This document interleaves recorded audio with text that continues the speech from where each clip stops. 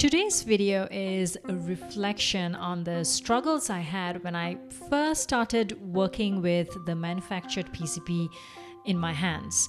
Uh, whether it's testing, debugging, or trying to see what is happening with the circuit, I had a lot of struggles. And at the heart of this struggle is the fact that hardware's iteration cycle is longer than software's iteration cycle. It takes more time and more money to make even a tiny little change in our hardware. Hence, in today's video, I want to share about six additional, totally optional stuff that we can include in our PCB even if the circuit is working perfectly fine so that we can test the PCB, we can make some uh, debugging, have some indicators and many other cool stuff just so that it makes it easy to work with our prototype PCB. The first optional but good to have a feature that I wish I included in my prototype PCB was modularity in the schematic. Whether we want to reuse part of the circuit in the future version of the same project or in other projects. An example of modularity used for different projects can be seen with Adafruit. The first board is a temperature and humidity sensor board with SI7021 and the second board is a light sensor board. If you look at their schematic, we will see that the power supply circuit using the LDO AP2112 on both the schematic. Similarly, the I2C pull-up circuit with the MOSFET BSS138 also uses the same circuit circuit. In the electrical schematic, I usually box up the entire circuit into functional logical blocks with the direction of the power flowing from left to right. This makes it easy to copy the designs to future projects. All right, the next tip for our prototype PCB, once again, very optional, is to include many options for the PCB. And these can be such as do not populate parts, solder jumpers, or use the zero ohm resistors. And I think this is a fun way to expand the functionality of a single PCB. So check out this article as a primer on how to use DNP components in PCBs. It explains in detail how the same PCB can be used for say in testing other configurations or separating a load. As a simple example in KiCad, I have kept an option for this clock line to be either pulled up or down. In this case, I will not populate with the pull-up resistor R13. When soldering, I also keep a note of the DNP components on the silk screen so that I can quickly look out for all of them. Solder jumpers are similarly another great example for adding options. In KiCad, there are a few varieties of uh, schematic symbols for solder jumpers. If we initially want the circuit to be open, we can choose the open solder jumpers. Or if we want them to be closed and cut the circuit, we can choose the bridged solder jumpers. Now the footprints are even more varied with different types of shapes and sizes. So just match the footprint with the type of solder jumper symbols that you have chosen in the schematic. I like to use the open solder jumpers inside each of my functional logical blocks of the circuit that I have never tested before. That way I can isolate and test them one by one, like in this case for the LiPo charge management circuit, the GPS circuit, or the LoRa circuit. So let's look at a practical example of an open solder jumper in the Arduino Nano 33 BLE board. Now at the bottom layer, there is an open solder jumper that is connecting or rather not connecting the 5 volt pin to the V USB with the specific instructions that this pin outputs 5 volts. But for it to work, we need to short the V USB jumper on the back of the board. And for an opposite example, for a bridged solder jumper example, let's look at the Teensy 4.0 dev board. On the back side of the board, we will see an opposite instruction to cut the solder bridge to separate the V in from the V USB. So this article gets into the detail of solder jumper best practices. If we need to open and close the jumpers repeatedly, we should probably not use the solder jumpers, but use a jumper on a pin header. So for example, in the YW Robot breadboard power supply, to select the output voltage 3.3 volts or 5 volts, we need to move the jumper to the corresponding pins. So lastly, on the topic of options, I will leave you with some thoughts on using zero ohm resistors it can also be used as a jumper or a configuration circuit. Now, the big advantage of using this component as opposed to, say, solder jumpers is that zero ohm resistors can be automatically populated by a pick and place machine. Hardware debugging. It is just so common to pick up the multimeter and probe into our PCBs and the test points make it very, very easy. So an example of test points can be found on the Raspberry Pi Pico board. There are six of them on the back layer from TP1 to TP6 and sometimes the shape can be slightly different like uh, round ones and they can be used with pogo pins to do board level testing in manufacturing. In my current PCB, I have like so many test points. Okay, I admit that I'm a little paranoid because you know this is the first time I'm integrating all of these components. So I have 24 test points.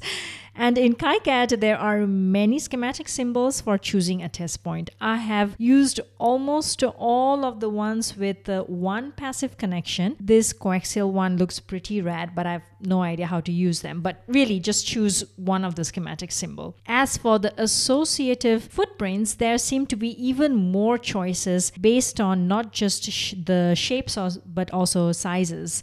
And some of them are also through holes. Well, just choose whichever whatever works for your case. I chose a simple, large enough square shaped pad so that I can probe it with a multimeter. All right, the next important thing is helpers. Once again, very important but totally extra, totally optional, are the notes on the silk screen layer. Very handy notes will help us zoom into the details faster. So let's look at the Icebreaker FPGA dev board as an example. The first important notes on the silk screen are the component designators. They are sprinkled all around the board but only in two directions so that they are easy to read. There are also notes on the power such as 5 volts volts here, uh, 3.3 volts there. And if required, we should also indicate the positive and negative signs for, say, the battery terminals. Next is a tip from one of the creators of the Icebreaker dev board, Peter. He uses these footprints for passives. Now notice there is a polarity indicator for the LEDs and I have referred to his KiCad library to integrate them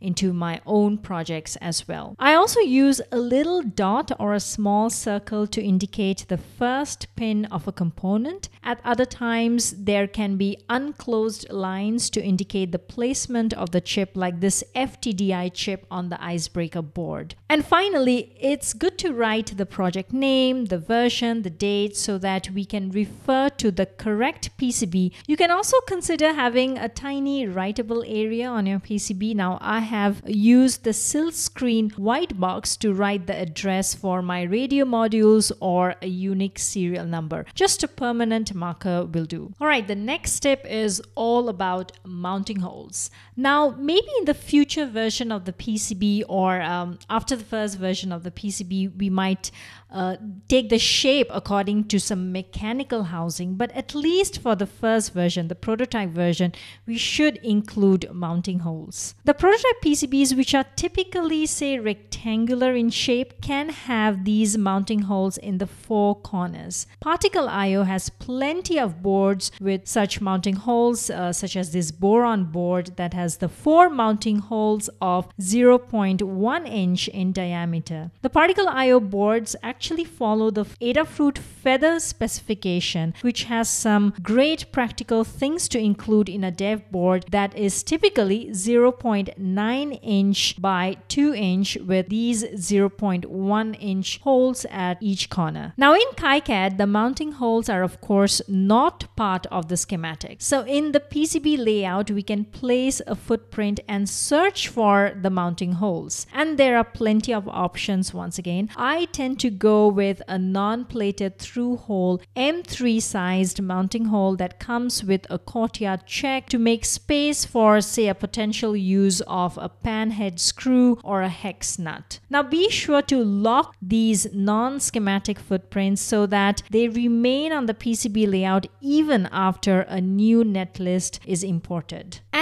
the last totally optional item to include are LEDs. Yes, LEDs, they visually indicate that parts of the circuit on the PCB are working just at an instant. So I will be referring to the schematics of this RobotDyn SAM D21M0 mini board. Here there is a logical block called the indication unit that has one of the most common LEDs to be used. For example, the power D4 LED connecting the 3.3 volts to the ground. The second most common indicator LEDs will be some kind of TX and RX as shown here. And depending upon your application, you might choose to put in other types of LED indicators. For example, here I am using an LED connected to the PPS, pulse per second signal of the GPS component. Or there is also an orange LED here indicating that I am charging the LiPo battery. So a little caution on using many LEDs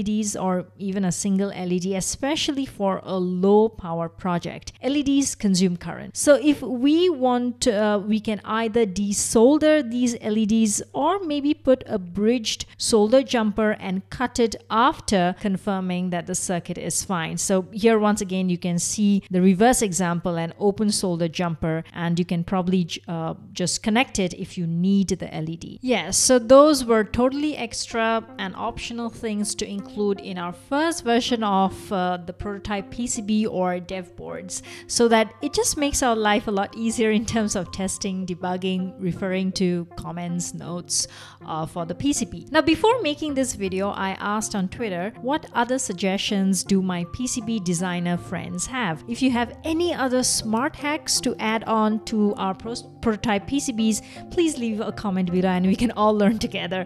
For example, Bausche here has a very clever one using test clips for the ground to keep one hand free. You know, I keep learning so much from all the open source projects out there, and I men- mentioned many of uh, my favorite dev boards that I have bought and used. And so, thank you to all of the designers and engineers working on these dev boards that I have learned a lot from. And I hope you also go and check out their schematics, buy some boards, and let's continue the learning. And uh, well, I hope you learned something out of this video. I would love to know what are your comments. If you have spotted some mistake, go ahead leave a comment below. And thanks for watching. See you in the next one.